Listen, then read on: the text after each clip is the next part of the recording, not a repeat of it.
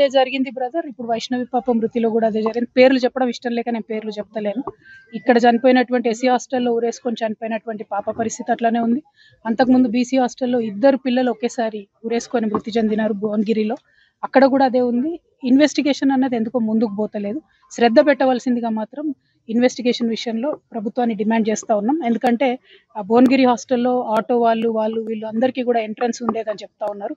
మరి ఇమాంపేటలో అటువంటి పరిస్థితులు వినబడలేదు కానీ మరి ఎందుకు ఆ పాప ఊరేసుకొని చనిపోయింది అన్నది మాత్రం ఇన్వెస్టిగేషన్ ఫాస్ట్గా చేయాలి. విచారణకు ఒక కమిటీ వేయాలనేటటువంటి అంశాన్ని కూడా డిమాండ్ చేస్తాం. ప్రభుత్వం నిర్లక్ష్యంగా భావిస్తున్నారు మేడం?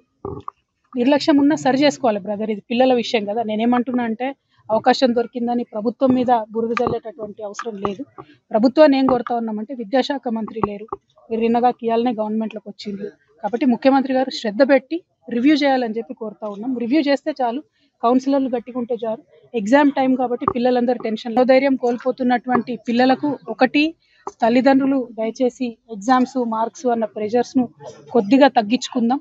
రెండవది ప్రభుత్వం వైపు నుండి ప్రతి హాస్టల్లో కూడా కౌన్సిలర్స్ ఉండేటట్టు టీచర్లు ఫ్రెండ్లీగా ఉండేటట్టు ఒక్కసారి ప్రభుత్వం నుంచి రివ్యూ చేసుకోగలిగితే సరిపోతుంది. మరీ ముఖ్యంగా పరీక్ష సమయం కాబట్టి టైంకి ఫుడ్ అందుతుందా క్వాలిటీ ఫుడ్ అందుతుందా ఇవన్నీ కూడా ముఖ్యమైనటువంటి అంశాలు కాబట్టి మరి ఇప్పుడు విద్యాశాఖకు మంత్రివర్యులు లేరు కాబట్టి డైరెక్ట్గా ముఖ్యమంత్రి గారి కిందనే ఉంది కాబట్టి గౌరవనీయులు రేవంత్ రెడ్డి గారిని మేము ఆడపిల్లల తరఫున చేతులు జోడించి విజ్ఞప్తి చేస్తా ఉన్నాం.